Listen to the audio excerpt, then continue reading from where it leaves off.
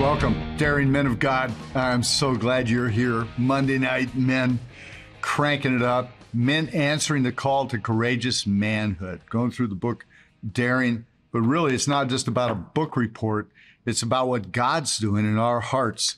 I love this uh, quote that, that Lauren, Pastor Lauren Tebbett gave me from Calgary. He said, It's an old Scottish proverb. It says this If you don't have blood on your kilt, then you're just a dancer.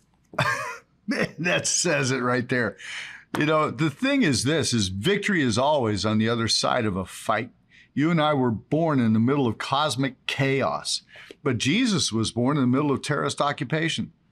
And we were called to this fight. You were put here on earth for this mission, you and I. And we are not going to back off. We're going to be daring men. Let's look at what it says in 2 Timothy 1 7, New Living Translation. For God has not given us a spirit of fear and timidity, but of power, love, and self discipline. That means a sound mind. Now, let me read it in the Amplified for you, and David can put that up. For God did not give, not give us a spirit of timidity or cowardice or fear, but He has given us a spirit of power and of love and of sound judgment and personal discipline, abilities that result in a calm, well balanced mind and self control. Man, how many of us want to live like that? Calm, well balanced, self control, well balanced in our thinking, our mind. And that's what God's given us. And it comes back to personal discipline, which is doing this, doing the hard work of building character, going through the materials, read stuff, go through it, go to cmn.men. If you got a men's group, we've got, you know, the workbooks uh, that we go through. I've got, we've got 900,000 men a month going through those materials uh, all over the world in over 100 nations. So grab that, get a hold of it, cmn.men. Bottom line is, you and I are going to do the hard work. That's what being a daring man is about. See, this this Bible is not just a lifestyle thing. It's not just like, hey, this is going to help me live a better life. It is a book of moral courage. It is a book about Jesus. The, the world obsessively is leaning into negativity. But when we get this in our hearts and lives, we live in a spirit of, of uh, courage, strength. Let's go back to it calm, well balanced mind, self control. Now, that's not easy all the time, is it? No, it's not. But daring is to live with purpose, grit, and courage. And here's the deal daring I, sh- I should have put this on the cover. Daring because you don't have a choice. I mean, that's it. If you're going to be alive and get something done, be significant in your life, leave a legacy, you've got to be a daring man. Now, when you are born again, when you become a follower of Jesus Christ, you are no, no longer just one who just lives under the culture. You don't live under the, you're not subservient to the culture, but you are a shaper of culture. We're men on a mission, and that mission is Jesus. Colossians 1:17 turn to that. See, I believe you and I can live in such a way that future generations will be grateful we were alive. Colossians 1:17 and, and why I'm going to read this for one reason because we've got to keep the main thing the main thing. It is so easy to get distracted. Colossians 1:17. Well, I'll start with uh, let's start with 15, 16. Christ is the visible image of the invisible God. He existed before anything was created, supreme over all creation. For through him, God created everything in the heavenly realms and on earth. He made the things we can see, the things we can't see, such as thrones, kingdoms, rulers, and authorities in the unseen world. Everything was created through him and for him. Verse 17, he existed before anything else, and he holds all creation together. Now, that is a huge concept right there. That is a, that is a concept larger than Stephen Hawking or any other person who's tried to discount uh, divine design. And that is that what holds things together? Light. Quantum physics has proven, string theory or any of the other things you want to look at have proven that what holds all matter together is magne- magnetic energy. In other words, light holds all matter together. What did John say? Jesus came as the Word and he came as the light. So the Word was spoken, the Word was light, and light, Jesus, holds everything together. If we keep the main thing the main thing, then we are energized by the power and anointing of the Holy Spirit. Jesus Himself will energize your life to be a daring man. But, see, but, but here's the thing discipleship, the reason we have these materials, the reason you, are, you and I are doing this right now, is that discipleship is a process. Now, we are committed to the process because the process is committed to the person of Christ. We are committed to the process because the process is committed to the person of Christ. Discipleship is a process. It doesn't just happen. Immediately when you become a follower of Christ, you are grafted into the family of God. But being discipled is the next level, becoming one whose default is the Word of God. See, we're not booksellers. I'm not trying to sell books. What, what our intention is for men to walk through the process of being a fully, uh, a fully devoted follower of Jesus Christ, full human. I mean, to be everything God designed us to be. And we're passionate about what we do. I think you can tell that. I always say this passion without a process is presumption. It's just, it's just all over the place. Passion without a process is presumption. But a process without passion is just a program. Process without passion is just a program. Got to be passionate about this. Go after it. So it's all about Jesus. He's the center of all creation and the center of our humanness. Number two, chapter two. We're in chapter two. Uh, daring men hold nothing back. I like this whole section in here, and there's a couple people it talks about Robert Barriger and Jim Hunter. And I stood on the on the mountains outside of Calgary, where Jungle Jim Hunter was his name, and, and uh, Jim was training then. This is a number of years ago. Was training uh, for the professional skiing circuit, and he had been in the Olympics, third place, medaled in the Olympics, uh, downhill, and did a number of different disciplines.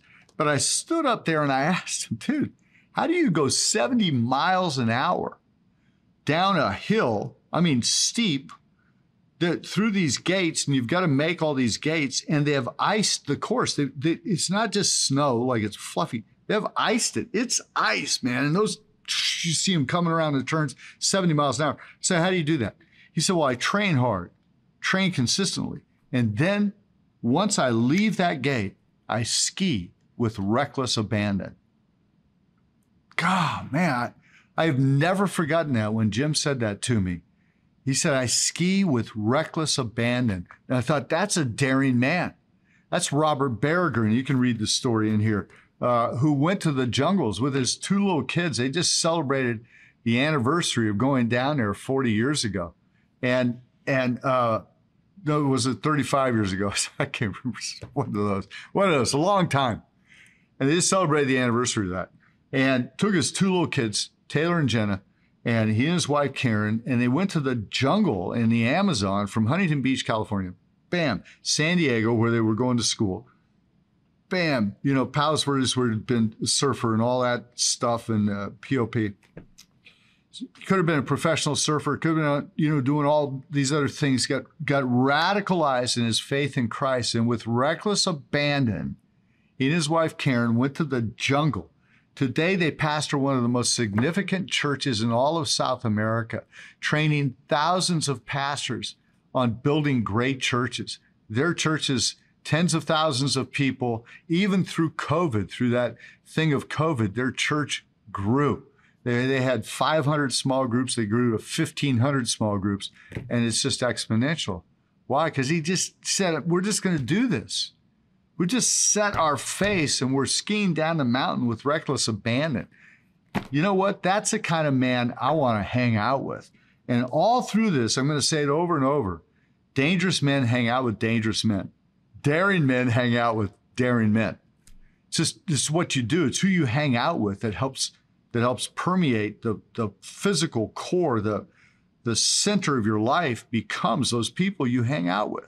It's proven over and over. You can look at the Asch, A S C H. That's a whole other thing. We'll get into it. It's part of my doctorate program I'm going through right now. But the Asch experiment, where peer pressure causes people to look at something knowing the right answer and say the wrong answer just because of the peer pressure. And we are not going to be those men, you and I, that bow to the gods of this world and the peer pressure of this world.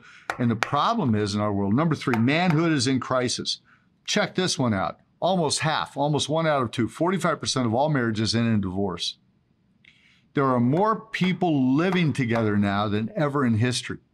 And we know the stats are when they do finally get married, or if they just stay living together, most of those things break up and they don't break up well.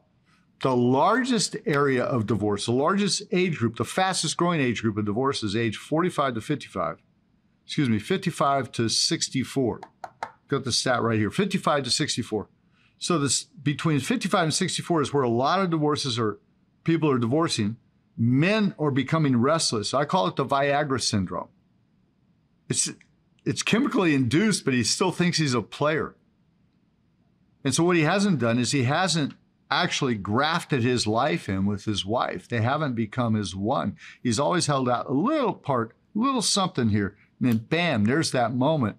And it goes off the rails.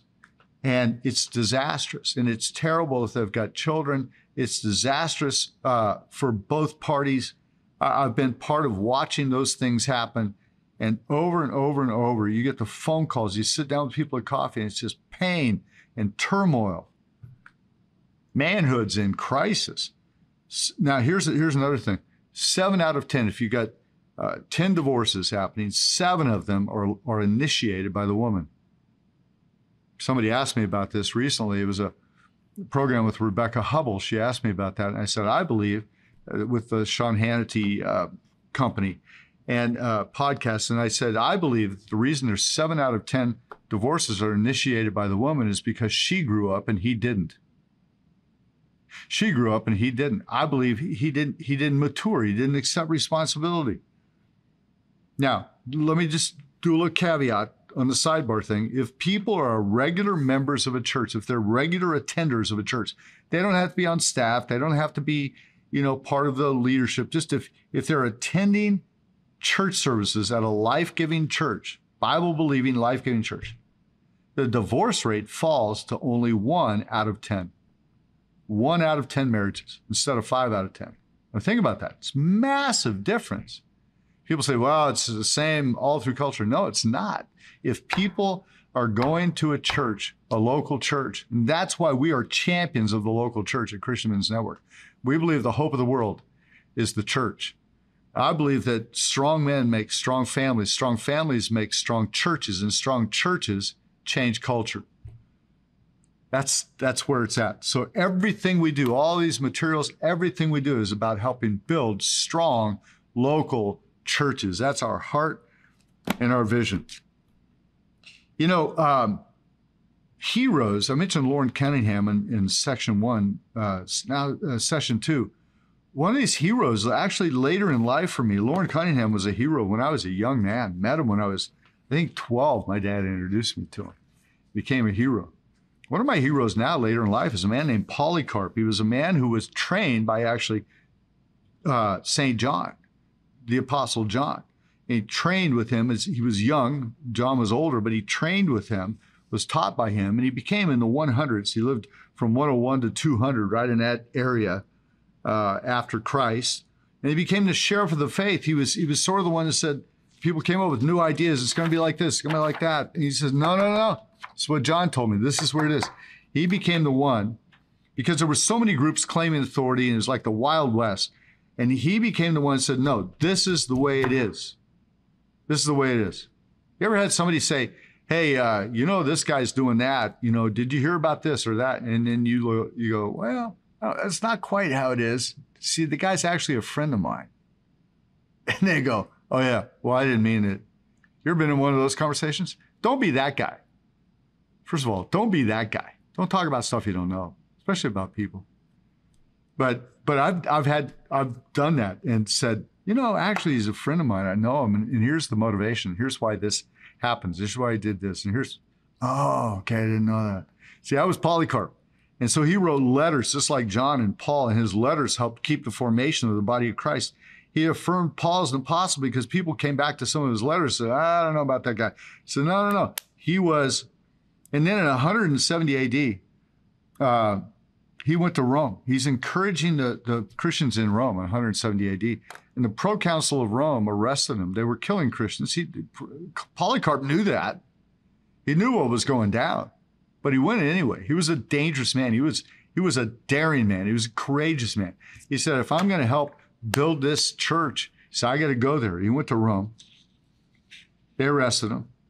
And all he had to do, it's a real fascinating thing because it had to do with the incense and that they they would not the Christians would not burn the incense because in those days 170 AD all the incense was about Caesar as as Christ and they would have special incense. He was God. He was Christ. He was the one we all uh, he was a God. And his special incense and the Christians said we will not burn this incense in our homes or around us or whatever. So that was part of them uh, finding out who they were and then Polycarp says I I'm not going to bow my knee. They say, all you got to do is say, hey, I revere Caesar and, and I uh, reproach Christ. He said, I'm not going to do it.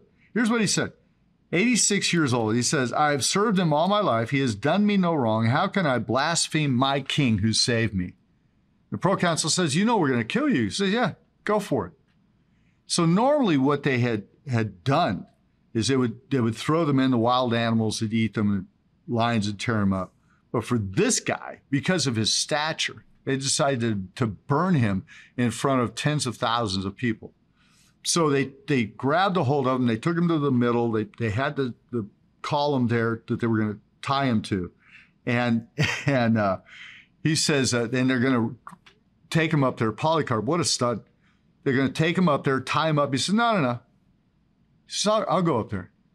And he climbs up over the logs that have been put around there, climbs up and puts his arm around the column of wood there that's going to burn him. Says, I'm good to go. Oh,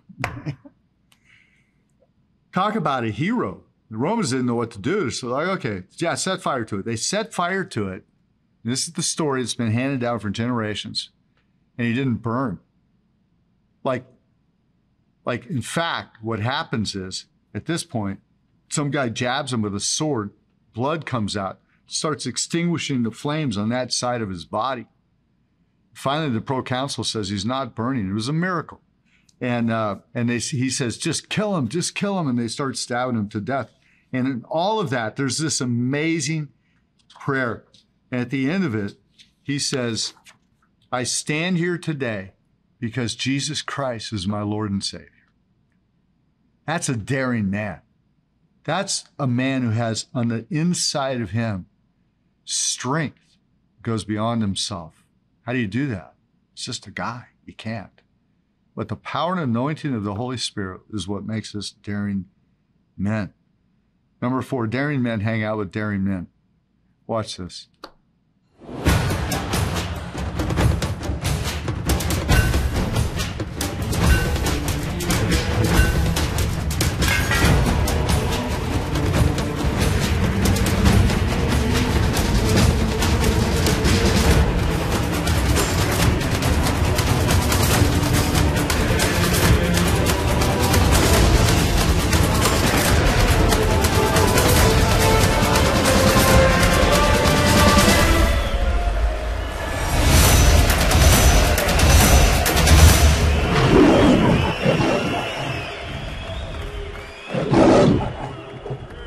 Number five. Let's go to the book, page 50.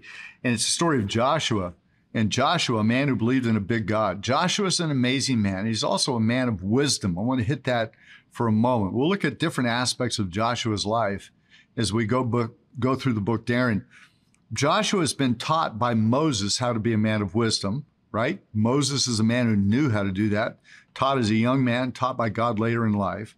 He's a man of wisdom. He's also a warrior, knows how to be a warrior, knows how to fight knows that victory is always on the other side of a fight.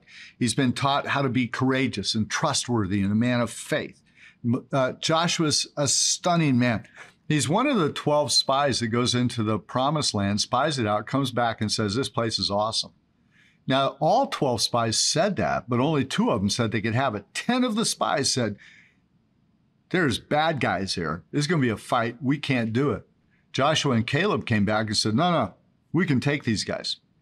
We can take them. And Joshua is that kind of man. And Joshua is a warrior. Joshua now has been given leadership of the nation of Israel. You know that whole part, and we'll go into more of it later. But Moses has died.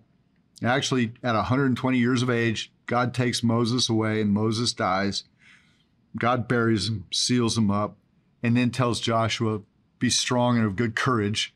You're the leader. And Joshua's ready. He's ready to take leadership. And, and it's, I love this. It says, Joshua was gifted with the spirit of leadership to take the Israelites into the promised land. God confirmed it with a miraculous crossing of the Jordan River. Also, he, he beat, he defeated Jericho. He had victory over the Amalekites. That was the time where Moses had his hands up.